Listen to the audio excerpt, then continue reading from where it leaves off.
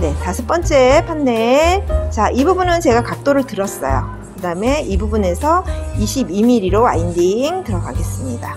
끝에서 이렇게 패시면, 자, 좌측에 지금 하나, 둘, 우측에 두 개, 그래서 네 개죠. 밑에 다섯 개예요. 뒤에는 그럼 아홉 개, 앞에 열 개, 열한 개로 해서 와인딩 끝났습니다. 열펑킴 뭐만 드립니다. 자, 오늘 우리 고객님은요, 어, 시컬펌을 하실 거예요. 시컬펌을 하실 건데, 어, 1차적으로 제가 모발 진단을 해야 되잖아요. 그래서 아쿠아프로틴 A로 10분 방치하고 나왔더니, 어, 약간 모발은 가느세요. 가늘고 어, 약간의 곱슬기는 갖고 계세요. 근데 지금 살짝 보면 발수성기도 보여요.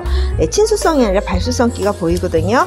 자, 지금부터 제가 어, 피카의 어, 펌제를 가지고 전처리 없이 쉽게 하는 방법 알려드릴게요.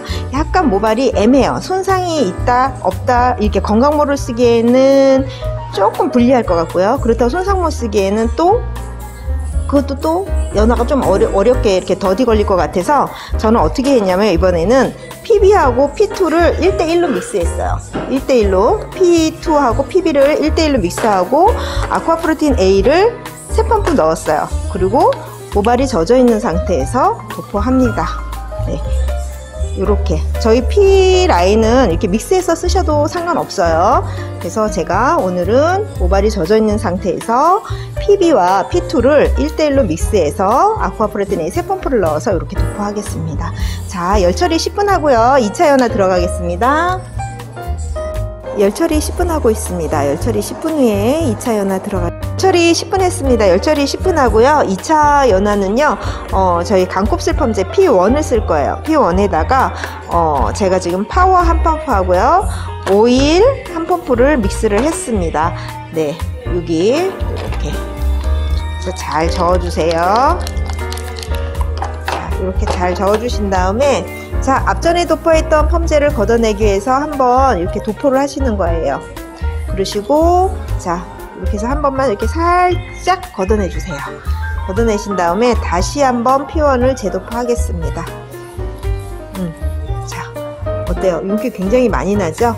자, 5분 방치하고요. 테이크 챙기고 나서 와인딩 들어가겠습니다. 는 뿌리가 가장 중요하다고 생각해요. 그래서 가장 먼저 하는 게 뿌리를 먼저 살리는 거예요. 이렇게 수분 조절하시고요. 뿌리를 살리시면 될 거예요. 자, 이렇게 슬라이스를 길게, 길게 뜨세요. 자, 이렇게 뜨신 다음에 어, 13mm, 피카는 13mm부터 뿌리를 살립니다. 네, 수분 조절하시고요. 45도 하나, 둘, 셋, 넷, 다섯 됐죠? 이 상태에서 이렇게 해서 쭉 빼주세요. 그래도 뿌리는 굉장히 많이 살지만 16mm, 16mm 더블로 저희는 살려요. 네. 자, 45도 하나, 둘, 셋, 넷, 다섯 됐죠? 하나, 둘, 셋, 넷, 다섯. 자, 이렇게 빼면 어때요? 뿌리가 굉장히 많이 살죠? 네, 계속해서 진행해 나가겠습니다. 자, 이제부터 와인딩 들어갈 건데요. 뿌리는 다 살려놨어요. 그 다음에 우측 먼저 제가 시작하겠습니다. 앞에 face line은 하나 제가 지금 와인딩 해놨어요. 자, 우측. 네. 자, 지금 19mm예요. 19mm로 네, 끝까지 네, 이렇게 수분을 조절하시고요. 네, 우측입니다. 음, 이렇게 수분이 한번 한뜸 날아갈 정도로 기다려 주세요. 그 다음에 천천히 그럼 어떻게 돼요? 이렇게 쑥 하고 올라오죠. 자, C컬펌이기 때문에 한 컵, 그러니까 한 바퀴 반 정도만 와인딩 하시면 돼요. 네. 자, 천천히. 네.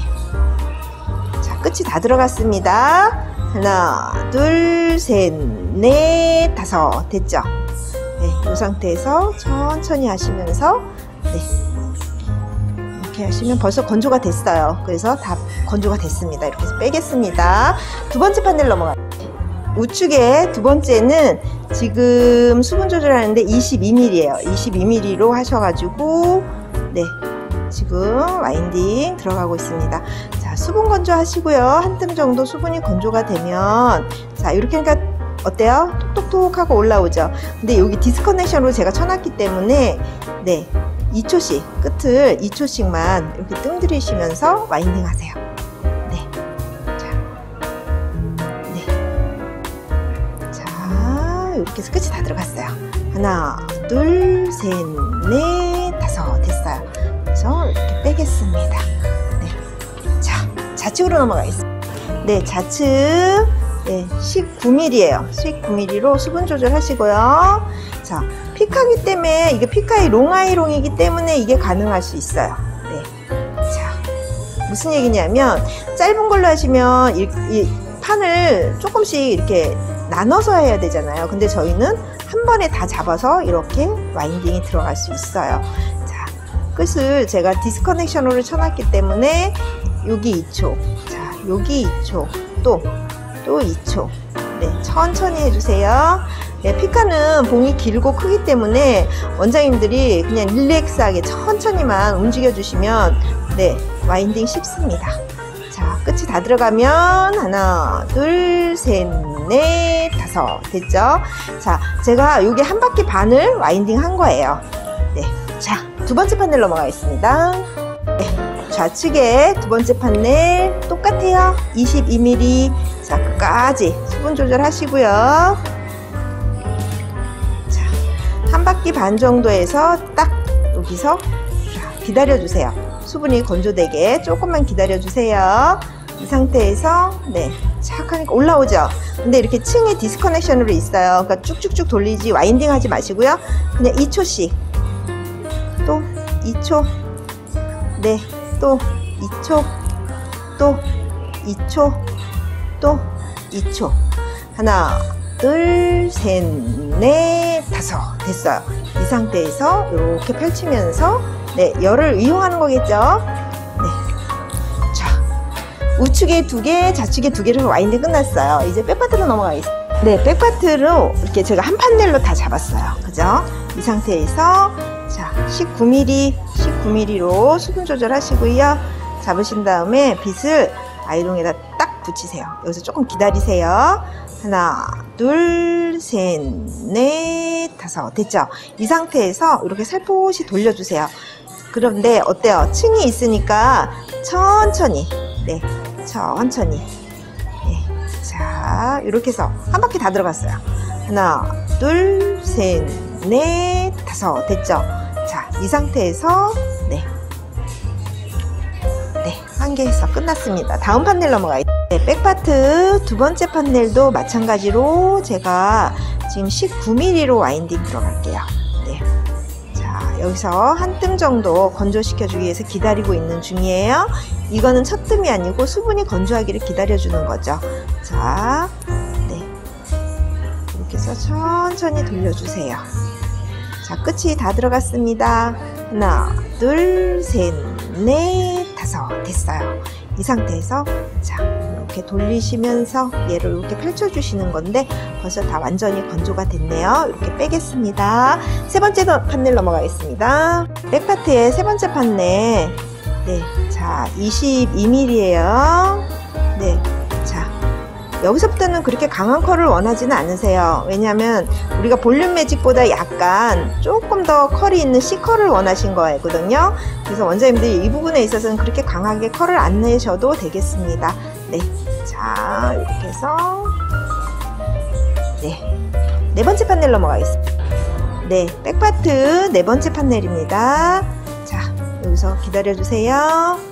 수분 건조하시고요. 한 뜸 정도 수분이 건조되고 나면 그냥 와인딩 하시기가 굉장히 쉬워요. 네, 자 끝이 다 들어갔어요. 하나, 둘, 셋, 넷, 다섯 됐죠? 자 이렇게 빼겠습니다. 다섯 번째 판넬 넘어가겠습니다. 네, 다섯 번째 판넬. 자, 이 부분은 제가 각도를 들었어요. 그 다음에 이 부분에서 22mm로 와인딩 들어가겠습니다.